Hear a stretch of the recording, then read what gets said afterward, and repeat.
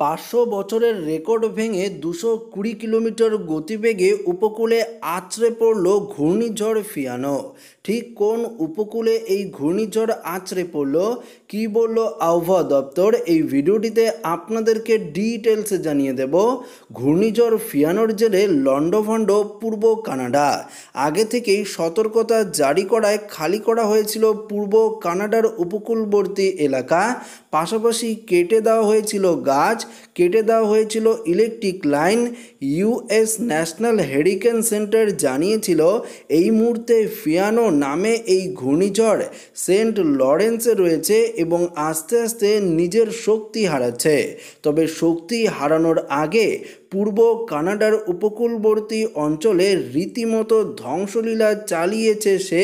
শহরের বেশিরভাগ অংশ বর্তমানে বন্যা কবলিত। রাস্তাঘাট, বাড়ি সব জলে ভেসে গিয়েছে। স্থানীয় বাসিন্দারা জানাচ্ছেন, এর থেকে ভয়ঙ্কর ঘূর্ণিঝড় তারা আগে কখনোই দেখেনি। ইতিমধ্যেই উদ্ধারকারী দল পাঠানো হয়েছে। পাঠানো হয়েছে সেনাও কানাডার প্রধানমন্ত্রী জাস্টিন ট্রুডোর শনিবার জাপানের প্রাক্তন প্রধানমন্ত্রী শিনজো আবের শেষকৃত যোগ দেওয়ার, যাওয়ার কথা ছিল, কিন্তু দেশে ক্ষয়ক্ষতি দেখে তাকিয়ে তিনি নিজেই জাপান যাত্রা বাতিল করে দিয়েছেন।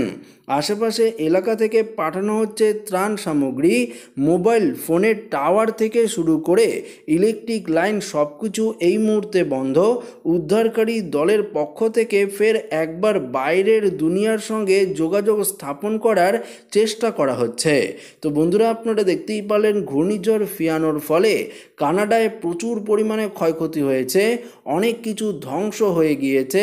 এই ঘূর্ণিঝড় ফিয়ানোর জেরে প্রচুর ক্ষয়ক্ষতি হয়েছে এমনটাই জানিয়েছে কানাডার প্রধানমন্ত্রী। তবে পুজোর মধ্যে আবারও একটি নিম্নচাপ পশ্চিমবঙ্গে তৈরি হওয়ার সম্ভাবনা রয়েছে। এই নিম্নচাপ থেকে কিন্তু ঘূর্ণিঝড়ের রূপ নিতে পারে, এমনটাই জানিয়েছে আলিপুর আবহাওয়া দপ্তর। তো ভিডিওটি ভালো লাগলে লাইক করবেন বন্ধুর সাথে শেয়ার করবেন। নতুন না থাকলে চ্যানেলটিকে সাবস্ক্রাইব করে নেবেন। ধন্যবাদ।